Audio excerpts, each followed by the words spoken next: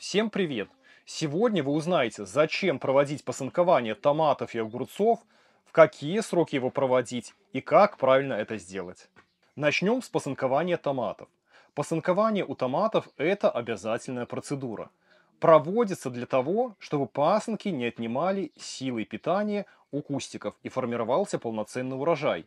Если оставить все пасынки на кустах, то урожай будет небольшой, будет позднее созревание урожая или вовсе урожай может и не созреть до наступления холодов. Будет сильное загущение, могут начаться различные заболевания э, и будут проблемы. Придется томаты обрабатывать, э, как-то подвязывать усиленно и вовсе, как я и говорю, урожай может не сформироваться. Значит, давайте начнем вначале с общих правил посынкования. Во-первых, посынкование проводится в сухую солнечную погоду, когда нет дождей, туманов, излишней влаги. Если проводить посынкование в такую дождливую, вот, э, сырую погоду, то срезы долго не подсыхают, и туда может попадать различные инфекции, и томаты могут заболеть. Поэтому смотрите по погоде, когда есть солнышко, когда сухо, тогда и проводим эту процедуру. Значит, что такое пасынки? Пас, пасынки – это побеги, которые образуются в пазухах листьев. А, и к посынкованию нужно приступать, когда сформировалась первая кисть. То есть, если вы увидели, что на томатах вот так вот появились цветочки, первая кисть зацвела, все, приступаем к процедуре посынкования. Пасынки можно удалять сразу, когда они только появились маленькие, их можно просто выламывать руками. Но если пасынки вот так уже подросли, естественно, что руками их не выломать. Придется использовать специальные инструменты. Можно использовать острый секатор, либо обычный ножик, хорошо заточенный, чтобы срезы были гладкие, не ворсистые, чтобы хорошо они зарастали.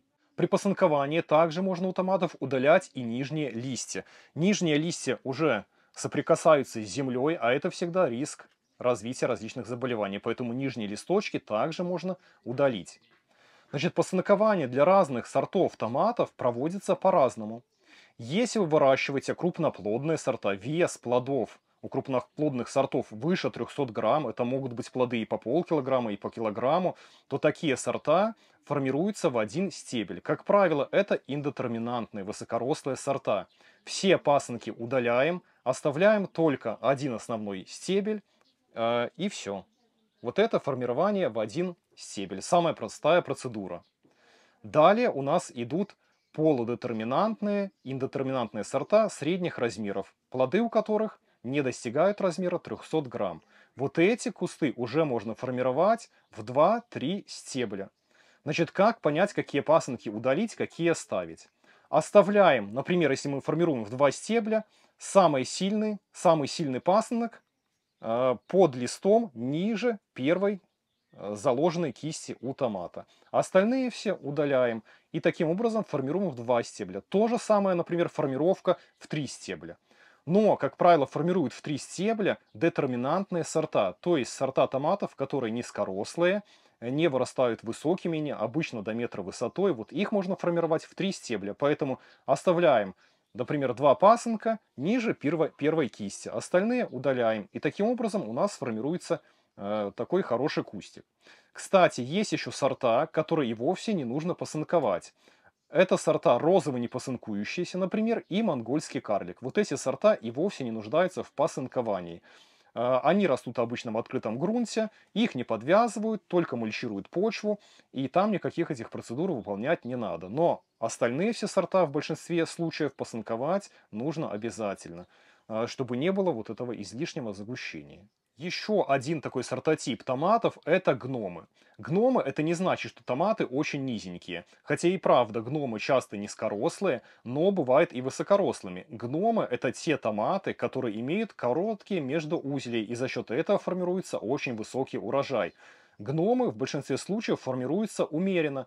На гномах можно оставить 3-4 пасынка, особенно на низкорослых гномах, а, и у вас формируется хороший урожай. Слишком резать гномы не надо. Хотя многие рекомендуют и вовсе гномы а, никак не посынковать, но все же лучше эту процедуру проводить, излишние пасынки удалить. Когда процедура посынкования проведена, томаты нужно обязательно осмотреть и провести подвязку. Кто-то подвязывает колышком, кто-то натягивает шпагат и подвязывает. По-разному можно эту процедуру делать. Но кустики не должны лежать на земле, должны быть стойко, плотно подвязаны к колышкам, либо к шпагату. Э, быть устойчивыми и не соприкасаться с землей.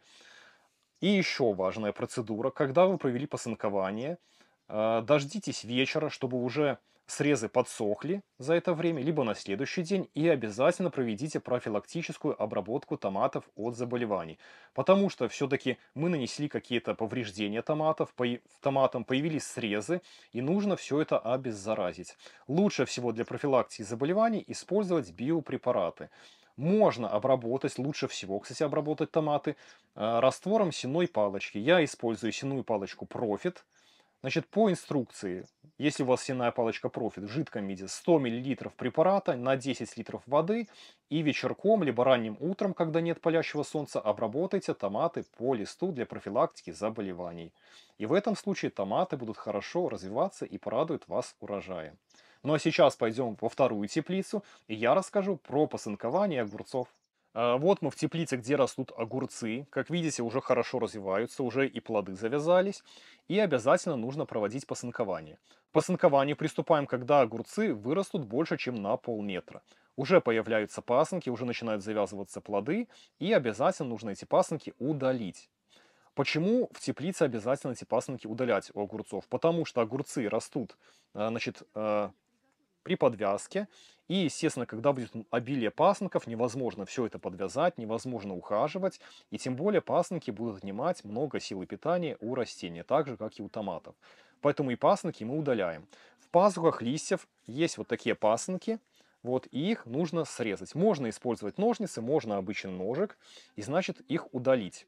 Удаляем все эти пасынки и ждем, чтобы огурчики подрастали. Когда уже огурцы вырастут по метру, вот видите, здесь уже огурец примерно метр, там даже больше. А, далее удаляем, опять же, еще выше пасынки. И обязательно еще удаляем потом нижние листья. Уже нижние листья будут не нужны, когда огурцы высокие. Они затеняют, а, значит, мешают развитию, где-то уже начинают желтеть. Поэтому можно несколько листочков нижних также обрезать и удалить. И далее а, для огурцов основная процедура это, естественно, что подвязка. Вот огурцы вот так на, на шпагате у меня висят. Можно их вокруг шпагата заворачивать, подвязывать. Можно использовать обычные такие прищепочки, которые в садовых магазинах продаются. И вот этими прищепками, прищепками подвязывать. И опять же, та же процедура, что и с томатами. Это обязательно обработка от различных заболеваний.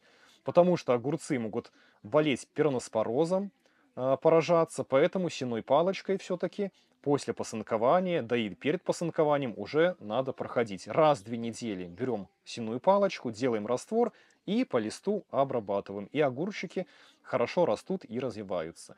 Если, кстати, у вас огурцы высажены в открытом грунте, выращиваются просто на грядке, их можно и не подвязывать, и не посынковать. Там будет формироваться естественный урожай и на пасынках, и на основных э, стеблях. Там эта процедура не нужна. Но вот в теплице такая процедура обязательная. И еще один момент. У огурцов есть вот такие усы. Многие рекомендуют их удалять, э, что они отнимают много силы у кустиков, но на самом деле не так уж и много они там чего отнимают. Это уже по желанию. Можете удалять, можете не удалять. Я, например, их не удаляю, потому что огурцы еще вот этими усиками за шпагат цепляются, и такая получается надежная опора. Поэтому усы все-таки я, я стараюсь не трогать. Они никак не мешают. А вот пасынки обязательно нужно удалять. Обязательно проведите пасынкование у томатов и огурцов, чтобы быть с хорошим урожаем. На этом все. Спасибо за внимание и до новых встреч. Thank you.